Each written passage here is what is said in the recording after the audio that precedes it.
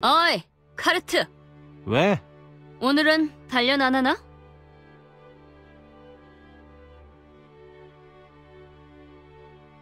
아, 그랬나? 정말 거참 이상한 성격이네. 전사라면 단련에 힘쓰는 게 당연한 일이지. 뭘 그렇게 필사적으로 감추려고 굴어? 그런 게 있어. 흠, 부끄러운 거냐? 노력하는 모습을 남들이 아는 게? 그러니까 난 그런 거 한 적 없다잖아. 뭘 그렇게 부끄러워해? 전사라면 당연한 일이라고. 오히려 단련에 전혀 힘쓰지 않는 전사가 부끄러워해야지. 너처럼 노력하는 녀석은 누구나 본받아야 하고. 그래도 난 싫어. 거참 까다롭게 구네. 뭐 그래, 까짓것 본인이 싫다는데. 좋아, 비밀로 해줄게. 대신 대신 이따가 나랑 대련하자. 계속 그랑 웨폰 안에 구겨져 있었더니 답답해서 몸이라도 좀 풀어야겠어. 뭐 그래. 대련 정도야.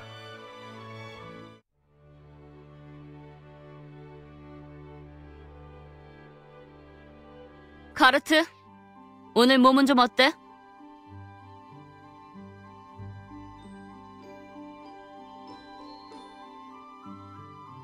먹는 데는 좀 어때? 부은 데는? 저리 가라 좀.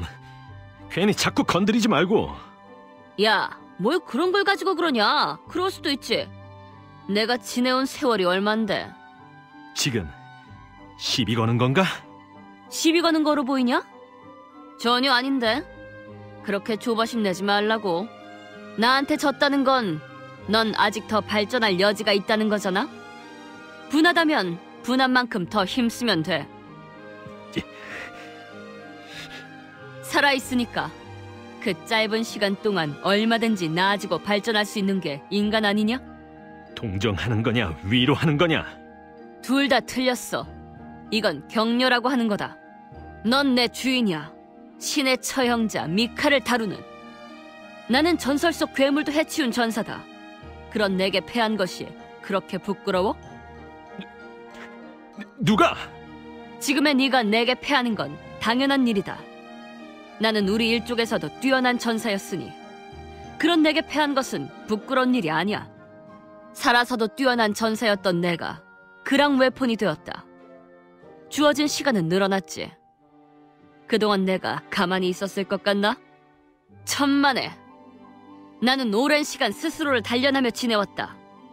너와 나는 단련에 투자한 시간의 단위가 달라. 나 알았으니까 그만 좀 떠들어. 귀 아프니까. 음, 그래 좋아. 그럼 내일부터 함께 단련이다.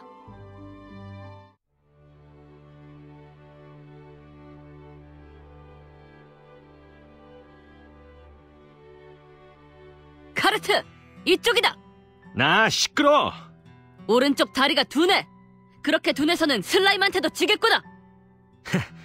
지금 말 다 했나? 각오는 되어 있겠지. 왜? 피하기만 하는데도 정신이 없나? 동작이 굼떠! 좀 더 빠릿하게 움직여라! 카르트, 너는 내 친구를 떠올리게 하는 녀석이다. 처음 네가 날 불렀을 때 마주한 내게서 그 친구가 느껴져 당황했었지. 네가 그 녀석의 환생 같은 것은 아니라는 걸 이제는 잘 안다. 다만 그 기백이 너무나 비슷할 뿐이었어. 네가 들으면 기분 나쁘다고 화를 내겠지만 그래도 나는 네가 그 녀석처럼 느껴진다. 둘도 없는 나의 친구. 하지만 두 번 다시 그 녀석과 같은 죽음을 보고 싶지 않아. 그러니 너를 돕겠다. 내 곁에서 너를 지키고 너의 성장을 돕고 지켜보며 언젠간 네가 부딪힐 거대한 장벽을 네 힘으로 부수고 나아갈 수 있도록 내가 도와주마. 그러니 어이 카르트! 정신 똑바로 차려라! 또 얻어맞고 싶은 건 아니겠지? 넌 입을 단련하러 왔냐? 그것도 좋군. 너는 몸을 단련해라. 나는 입을 단련하겠다. 아 시끄럽다고.